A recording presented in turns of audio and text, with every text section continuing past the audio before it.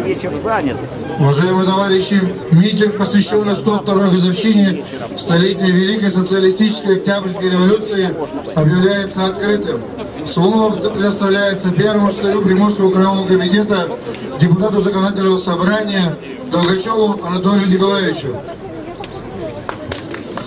Дорогие друзья, товарищи, земляки-приморцы, мы сегодня с вами отмечаем не просто историческую дату, 102-ю годовщину Великой Октябрьской социалистической революции. Мы отмечаем сегодня торжество справедливости, торжество мира над беззаконием. Так получилось, что наша страна стала первой в мире, где к власти в государстве массовым порядком пришли бедные люди.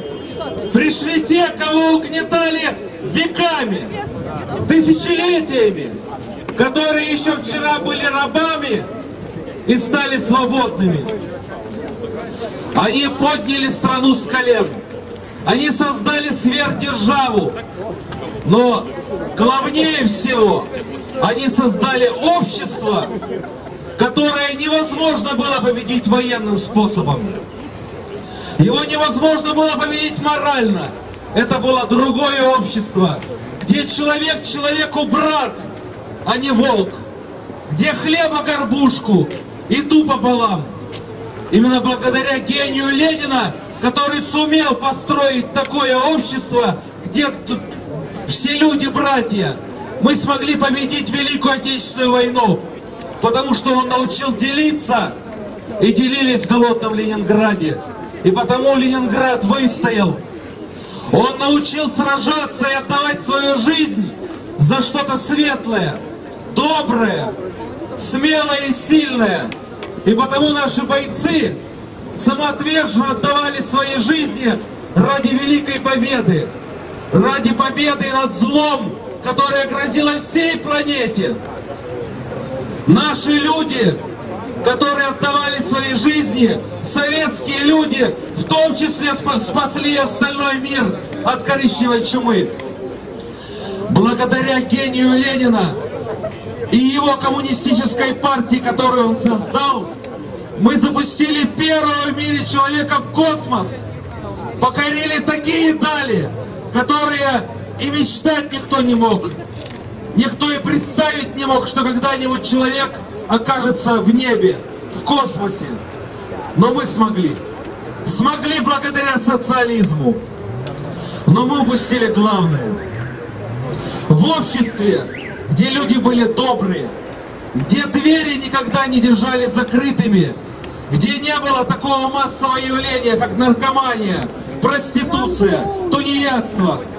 Враги прорвались в ряды партии, прорвались в руководство партии и предали рядовых коммунистов, которые самоотверженно сражались и трудились на поле трудового фронта.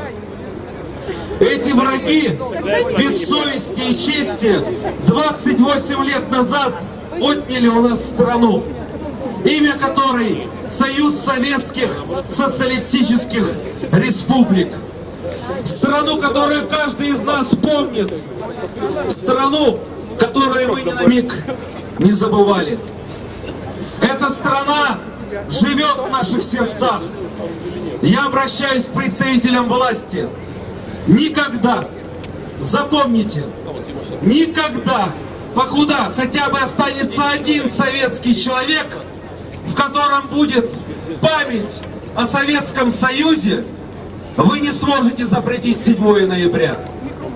Это великая дата. Она не просто историческая. Это, это дата, когда рабы стали свободными.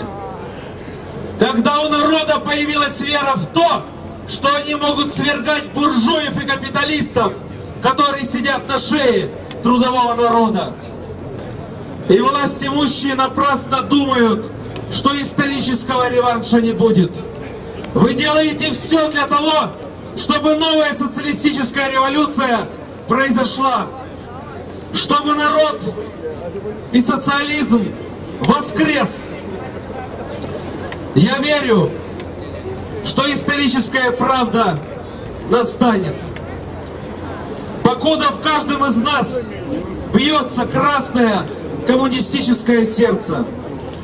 Я обращаюсь к старшему поколению. Спасибо вам, тем, кто отстоял этот праздник и праздник революции. В 91 году, 92-м, 93-м нас запрещали. Нам не давали проводить демонстрации и митинги. Мы выстояли и сохранили этот день благодаря старшему поколению, благодаря их сединам.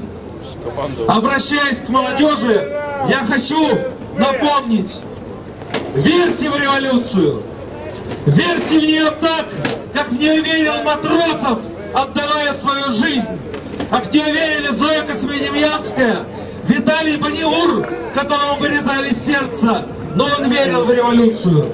Нашу, наша революция впереди, она, как всегда, актуальна. Да здравствует 102-я годовщина Великой Октябрьской социалистической революции! Ура!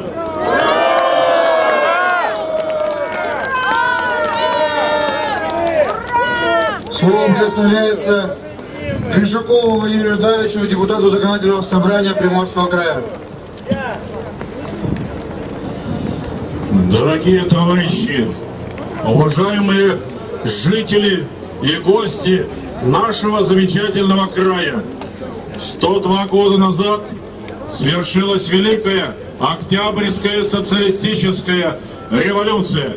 Позвольте мне от советских офицеров России, от советских офицеров нашего Международного Союза, от исполкома движения в поддержку армии обороны науки поздравить вас с этим великим и знаменательным днем. Великий Октябрь дал путевку в жизнь нашей советской родине. Впервые в мире сбилась мечта трудового народа, и трудовой народ взял власть в свои руки в нашем народном советском социалистическом государстве – и тогда свершилось чудо. Наши дети получили бесплатное образование. У нас была бесплатная медицина. Мы могли с вами спокойно смотреть в завтрашний день, ибо знали, что наша молодежь после окончания высших учебных заведений получит работу. И если, не дай Бог, на один день будет задержана зарплата, то неминуемо постигнет кара тех руководителей, которые не смогли выплатить зарплату или аванс. Но сегодня, к великому сожалению, то, что свершили наши деды, отцы, прадеды, то, что называлось нашей великой советской родиной, предали те, кто дорвался до власти. Мы с вами должны понять простую истину. Будущее не только у нас, в России, во всем мире. Это неминуемо будет. Это будет называться социализмом. Поэтому, друзья мои, все народы мира смотрят на Россию, смотрят на нашу коммунистическую партию, на советских офицеров, на женщин наших замечательных. Мы должны, мы вправе свершить второе издание Великого Октября. При этом мы должны помнить, не правительство нужно отправлять в отставку, а нужно всю систему ломать до конца, до основания. И только потом, сломав эту систему капиталистического рабства, мы сможем создать наше новое советское народное государство – Разве нам нужна власть, которая отнимает у нашей молодежи будущее, которая отняло образование и заставляет платить, ибо образование сегодня услуга. Нет такой власти. Долой Путина и долой тех, кто ему прислуживает. Разве нам нужна такая власть, которая сегодня у стариков забирает пенсию? Повышает возраст пенсионный. Посмотрите на соседний Китай. У них снижение идет возраста. Там во главе государства стоят представители коммунистической партии. И сегодня мы должны учиться у них. А когда-то все было наоборот. Я верю в то, что нам удастся сплотить все патриотические силы, всех людей труда, всех тех, кто понимает, что происходит на нашей родной приморской, родной российской советской земле. И только объединившись все вместе и создав органы народного сопротивления, как это было после февральской революции буржуазной, мы свершим новую октябрьскую социалистическую революцию. Да здравствует Владимир Ильич Ленин! Да здравствует большевистская партия! Нам необходимо идти вперед к победе! С праздником вас, дорогие товарищи! Ура!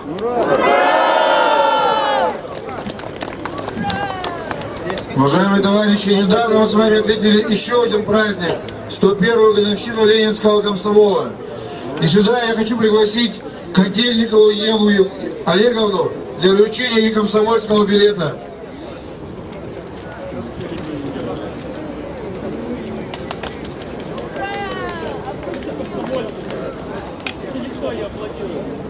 Дорогие товарищи, давайте поддержим нашего молодого, нашу молодую комсомолку, красавицу.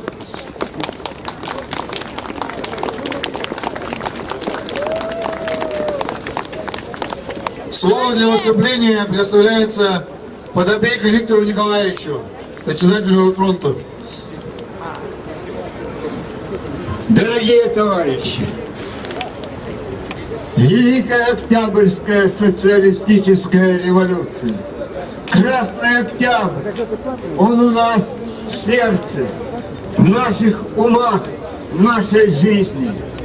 И сегодня очень знаменательно, что состоялась демонстрация, посвященная этому великому событию, состоявшим и митинг, посвященный этой великой, великого свершения в жизни человечества. Спасибо, что вы пришли, что в наших рядах царил дух уважительности, товарищества, коллективизма, дух, который поднимал народ России на Октябрьскую революцию. И сегодня движет нас к тому, чтобы сказать и нет этому режиму, отвратить его от власти, которая угнетает народ. Спасибо вам и то, что сегодня вы пришли, приняли участие в условиях, когда нам запрещают проводить митинги, собрания, высказывать свое мнение, оценки о этом олигархическом режиме, который давит и угнетает народ. Спасибо. Это гражданский подвиг, если вы хотите. Это мужество. Сегодня еще только начинался день, а у нас здесь я вот лично получил массу звонков о этом событии, о оценке людей, которые посвятили себя и свою жизнь, свой труд строительству социализма в нашей стране. Примите приветствие от Калининградской организации, которая на самом дальних рубежах ведет ту же политику, ту же борьбу, что и мы с вами за торжество социализма, за возрождение власти трудового народа. От Ленинграда, от коммуни... Центрального комитета Российской коммунистической рабочей партии, от Москвы, от наших земляков в Пскове, забастовочного комитета Дальзавода, который в суровое время 90-е отстоял Дальзавод. И первый новой новейшей истории России забастовку, на которую он решился, чтобы дальзавод сохранить и сохранить коллектив. Впервые отстоял право на нее, и она была признана законом. Все вместе. Это нас всех объединяет. И сегодня митинги, демонстрации состоятся в сотнях и тысячах городов и населенных пунктов нашей отчизны, нашей России.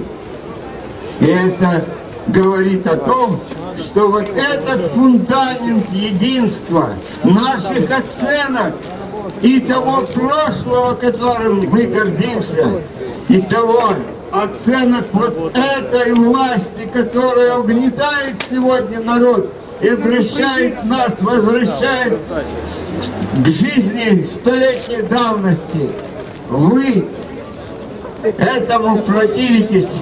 И никакой краской, какой бы густоты чернота ее не была, не зачеркнуть значение праздника Великого Октября. События Великой Октябрьской социалистической революции.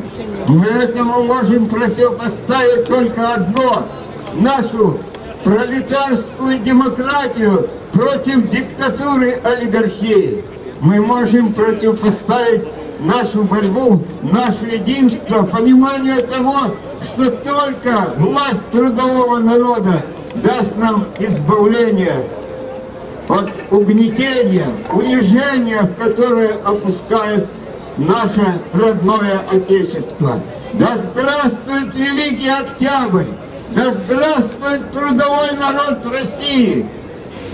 За победу социализма! Наше дело правое! Мы победим! Слава великому трудовому народу Российской Федерации. Спасибо! Дорогие товарищи, слово представляется депутату законодательного собрания Беспалову Владимиру Георгиевичу. Здравствуйте, дорогие друзья! Вот сегодня у меня небольшая радость. В газете, вот эта копия, в газете «Утро России» редактор Дармир Гайнудинов опубликована моя статья по прожиточному минимуму по-приморски в крае он много сокращался. Здесь указан ряд фамилий чиновников, которые прямо виноваты в том, что на протяжении примерно пяти лет прожиточный минимум пенсионера рассчитывался по заниженным уровням инфляции. И настало время теперь назвать эти фамилии и я думаю, через правоохранительные надзирательные органы мы добьемся, что каждый получит по заслугам. Так получилось, что я инженер технолог, машиностроитель, много лет проработал в оборонке, и на заводе «Аскольд», и на заводе «Прогресс». И в сентябре, и в октябре я бывал на дальзаводе, в частности, вместе с коллективом мы отмечали 132-ю годовщину со дня рождения старейшего судоремонтного предприятия Дальнего Востока. И я видел десятки рабочих, мастеров, начальников цехов и отделов, которые с благодарностью принимали грамоты, в том числе законодательного собрания, за многолетний добросовестный труд на благо Родины. Был я и на митинге в сентябре, вернее в октябре э, у авиакомпании «Прогресс». Зная, что ситуация на авиаремонтном предприятии «Воздвиженки» очень плохая, мало заказов на будущий год. Трудно живется и заводу «Звезда» по ремонту подводных лодок. Практически оборонка на э, Приморском крае, а предприятие еще довольно много, переживает кризис. Почему? А правители, вплоть до президента, говорят о том, что мы как бы почти обеспечили оборону И Министерство обороны, и войска, и авиацию, и флот нужными кораблями, нужными самолетами, вертолетами. И вроде бы как достаточно. Мы, специалисты, знаем, да недостаточно.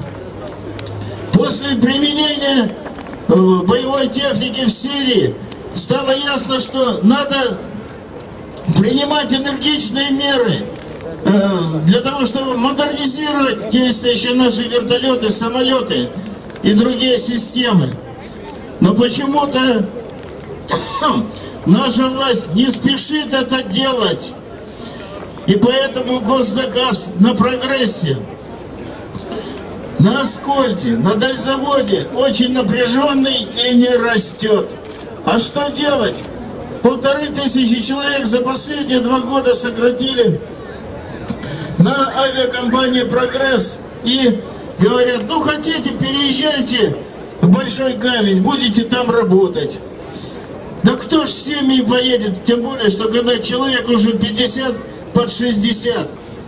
Просто там, власти, в Москве, работают такие люди, которым, э, у которых нет ни совести, ни жалости к народу. Например, вертолеты России сейчас опекает всем известный Сердюков, бывший министр э, обороны, которого звали Табуреткин. И он дал команду проделать определенную оптимизацию. И за 4 года на авиакомпании «Прогресс» должны сократить 65 тысяч квадратных метров площадей. Это ж сколько еще людей будут лишены работы? А куда в Арсении пойти, кроме как на тот или другой завод? И поэтому нам сейчас надо объединяться, нам сейчас надо и на уровне город, городов, районов, и на уровне законодательных собраний регионов, и в Госдуме единым фронтом защищать наше отечественное производство, защищать наших рабочих. И не прав тот, который говорит, что до рабочих сейчас как пролетариата, как класса нет. Есть. Есть десятки миллионов тех, кто прошли школу рабочего класса. И сейчас, рабо... и сейчас привыкается. Пенсионерами работают. Вот на эту зарплату, которую я пишу вот в этой газете, на, на эту пенсию. А есть молодые рабочие, есть зрелые рабочие, с великолепными руками, которых надо взять под контроль, которые ждут нашей защиты. Я это по себе знаю. Они верят в нас. Они верят в нас. И поэтому я призываю депутатов всех уровней, сходите на предприятия, малые, средние, большие, которые есть на вашем округе. И вы поймете, что это как раз точки роста революционного сознания наших людей. Также я хочу сказать, что Центральный комитет партии поддерживает народные предприятия, которых уже несколько десятков и сотен. В частности, тоже предприятие э, Грудинина Павла Николаевича под Москвой, которое э, производит клубники, ну, наверное, больше, чем какая-нибудь область. Но сейчас только за то, что он посмел при помощи коммунистов пойти на выборы президента и занял второе место, теперь ему не дают жить. Суды за судами, преследования за преследованиями, забирают акции, преследуют, э, ну, как говорится, на пустом месте. И здесь нам тоже надо рассказывать людям, что все, что показывают по телевидению, все, что там прибрехивает про жену, жена, между прочим, все поняла и уже не очень-то и хочет ругаться со своим бывшим мужем, Грудининым. Просто нам надо объяснять, что это, просто они его приговорили к тому, чтобы лишить вот такого великолепного, лучшего в Европе предприятия. И здесь еще раз я хочу сказать, нам надо всегда объединяться, защищать друг друга. И как я говорил на митинге у Дворца молодежи, когда мы едины, мы непобедимы. Давайте эту фразу повторим несколько раз. Когда мы едины, мы непобедимы. Когда мы едины, мы непобедимы. И тогда победа будет за нами. Ура, товарищи!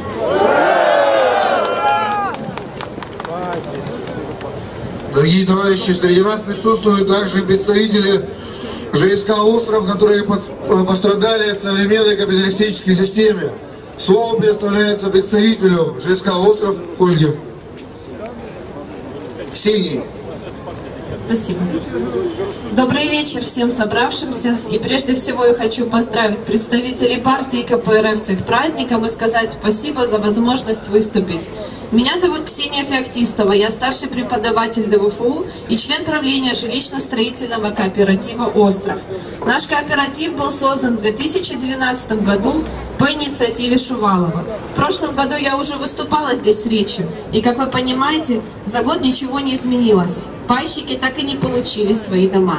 Что же произошло за год? Во-первых, мы расторгли договор с Аркадой, которая не выполнила свои обязательства. В настоящий момент идут судебные процессы по возврату кооперативу около миллиарда рублей.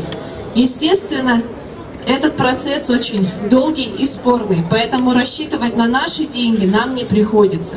Во-вторых, Дом РФ завел нам своего генподрядчика «Эркострой», который активно строил поселок летом и в начале осени. Во время ВЭФ генеральный директор Дома РФ Плульник Александр пообещал нам финансирование. Новость о выделении финансовой помощи на достройку поселка ЖСК «Остров» облетела все СМИ. Наши попытки шуметь во время ВЭФ были пресечены. Нам пообещали достроить все дома к концу года и сдать первую очередь в сентябре. Э, что мы имеем сегодня? Финансирования до сих пор нет.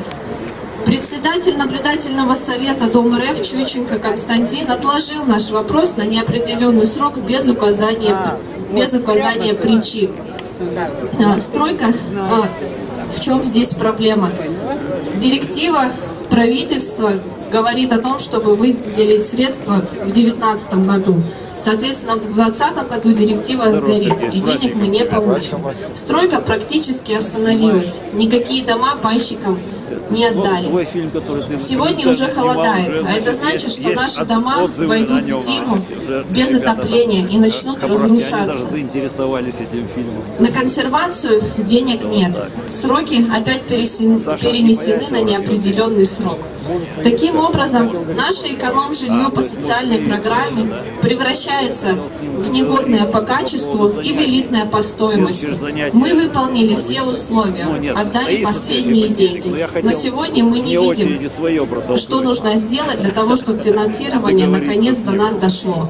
Инициатива президента по созданию кооперативного движения терпит полный крах. Мы ученые ДВО мы преподаватели ДВФУ и многодетные семьи, незащищенный слой населения.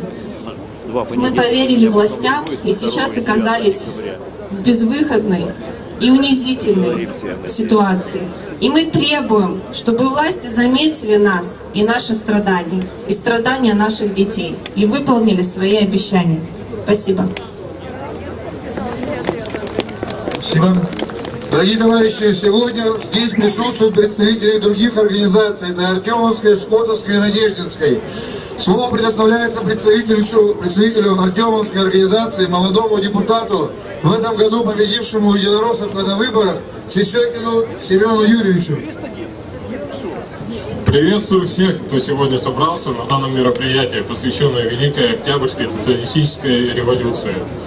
Э, особую благодарность выражаю нашим предкам, которые дали нам светлое будущее, которое отнимает в наше время настоящая власть, вводя законы антинародные, такие как повышение пенсионного возраста, понижение зарплат, э, в том числе снижением районного коэффициента, делая медицину платной и образование.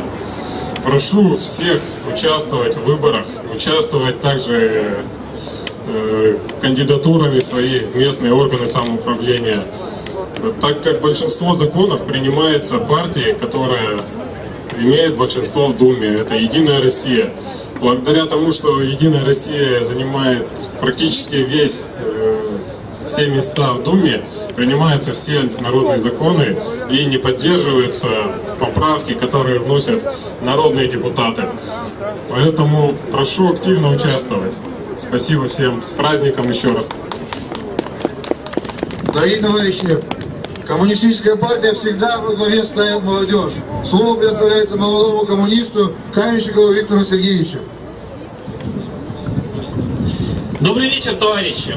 Во-первых, я хочу поздравить вас всех с праздником Великой Октябрьской социалистической революции. Ура!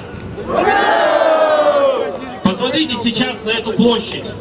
С каждым годом власть все старательнее и старательнее пытается нас не допустить до этого митинга, не допустить до этого шествия.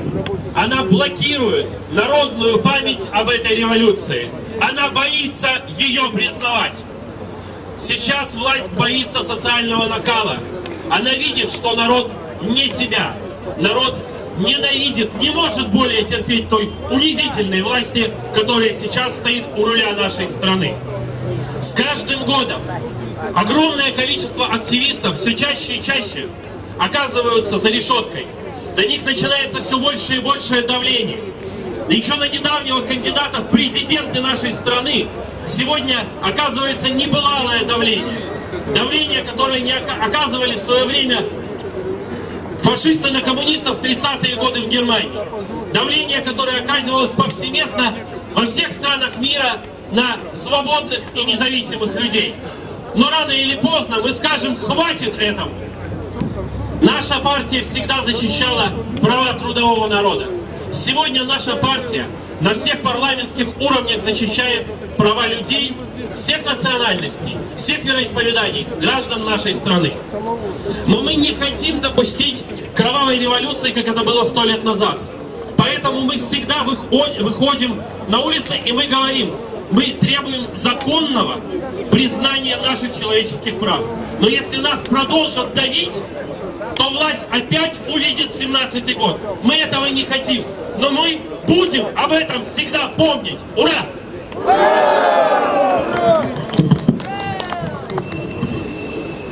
Дорогие товарищи, слово для зачтения резолюции нашего митинга, посвященного 102-й годовщине Великой социалистической Октябрьской революции, предоставляется председателю ВЖС Надежды э, России Яськовой Татьяне Николаевне. Дорогие товарищи, позвольте зачитать только констатирующую часть митинга. Митинг требует сформировать правительство народного доверия, осуществить программу КПРФ «10 шагов к достойной жизни» как необходимое условие выхода из кризиса, новому правительству провести национализацию ключевых отраслей экономики как базы для возрождения России, определить целью работы структур власти повышения уровня жизни населения, спланировать развитие страны надлежащим образом. Сменить приоритет в денежно-кредитной политике, установить государственное регулирование курса рубля и валютный контроль изменить закон о Центральном банке, обязать его стимулировать экономический рост, упразднить бюджетные правила, отказаться от искусственного профицита, консолидировать средства фонда национального благосостояния в расходной части бюджета, отказаться от иностранных инвестиций как самоцели, перейти к поэтапной национализации в транснациональных компаниях. Государственная Дума должна предложить правительству разработать стратегию социально-экономического развития России на 25-30 лет, ориентированного на социалистический путь развития, понятный большинству населения. Разработать пятилетние и годовые планы качественного экономического роста по примеру губернатора Иркутской области Сергея Левченко, мэра Новосибирска Анатолия Локотя, губернатора Орловской области Андрея Клычкова, которые уже внедряют эти направления в своих регионах. Запретить силановскую приватизацию доходных и ключевых для экономики России предприятий. От администрации Приморского края мы требуем обеспечить заказами оборонные предприятия края, остановить увольнение квалифицированных работников, вернуть доступность звания ветеран труда, вернуть районный коэффициент к заработной плате в размере 1,3, довести до уровня МРОД оклады неквалифицированных работников. Мы поддерживаем требования 300 пожарных, сокращенных по решению губернатора Кожемяка, и требуем восстановить их по прежнему месту службы. Мы заявляем, что отмена 1,3 районного коэффициента, увеличение платы за проезд в автобусе Владивостока до 28 рублей не остановят отток населения из Приморского края. Мы поддерживаем справедливые требования всех обманутых дольщиков и пайщиков и сделаем все, чтобы они были удовлетворены. Да здравствует Великая Октябрьская социалистическая революция! Да здравствует социализм! Неизбежный выход из социально-экономического тупика. Спасибо, товарищи!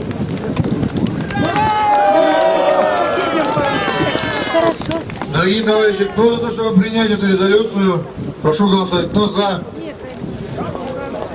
Кто против? Кто воздержался? Принято единогласно. Дорогие товарищи, митинг объявляется закрытым.